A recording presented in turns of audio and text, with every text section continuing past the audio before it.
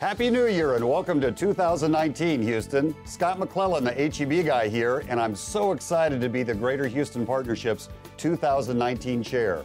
I invite you to join me and a thousand other business leaders at our annual meeting on January 31st. We'll celebrate the partnership's 30th anniversary and then discuss what's next for Houston and how you can help lead the way.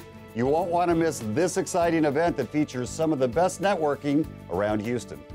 So join us this January 31st at the partnership's annual meeting.